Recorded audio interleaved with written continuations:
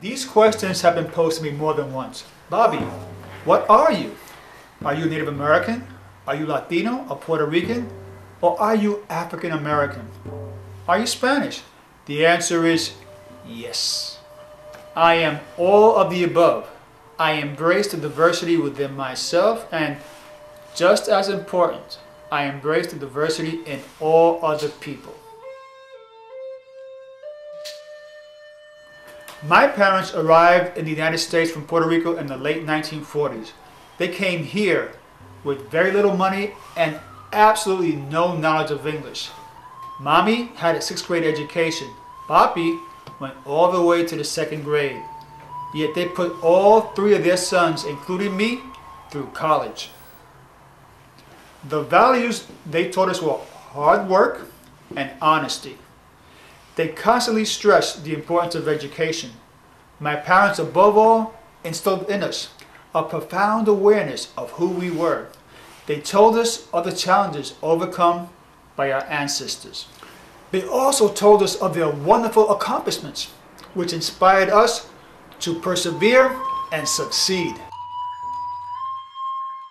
As a lecturer for corporate functions and colleges and universities, I look to raise awareness of the rich mosaic of Latino culture. As a storyteller for audiences of all ages, my goals are to entertain and at the same time educate through the vehicles of folk tales and ancient legends.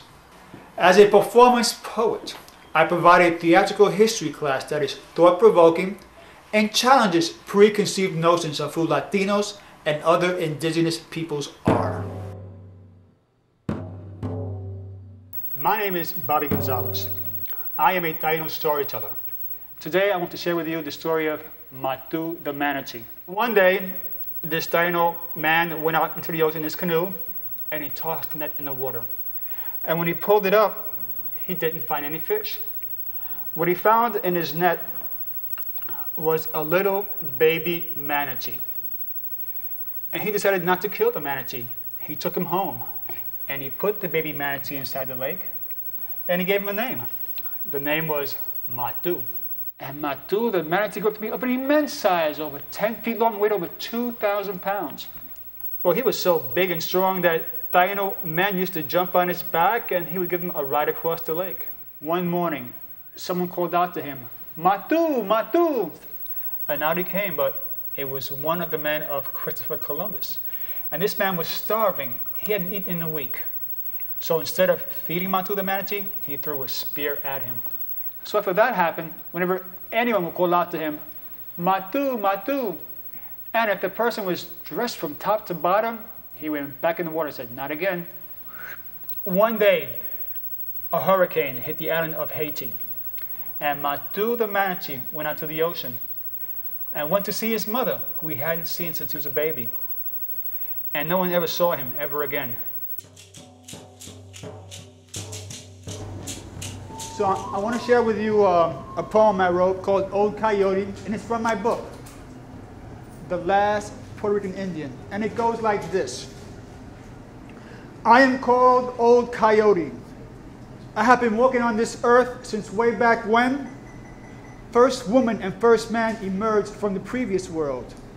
Way back when people were humble and gazed with awe at the majesty of the sea, the mountains, and the tiniest seed.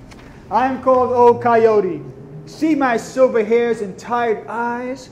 Listen to my stories. They change and grow. They grow and change to fit the times. That is why they are called stories. That is why they are sacred. Stories passed down from mothers to children who are taught to stand straight in the center of good. Excluded songs, hidden histories, hidden mysteries. Revered elders provide guidance and knowledge. They share our journey song, songs from since creation. I am called Old Coyote. I am ready to make my final spirit journey. When I die, do me the honor of lighting a candle soft and sweet. Leave me offerings of harvest berries, tobacco, and a prayer drum. Soon we will all return to live in our memories. I am called Old Coyote. I bid you all a very good night, all my relations.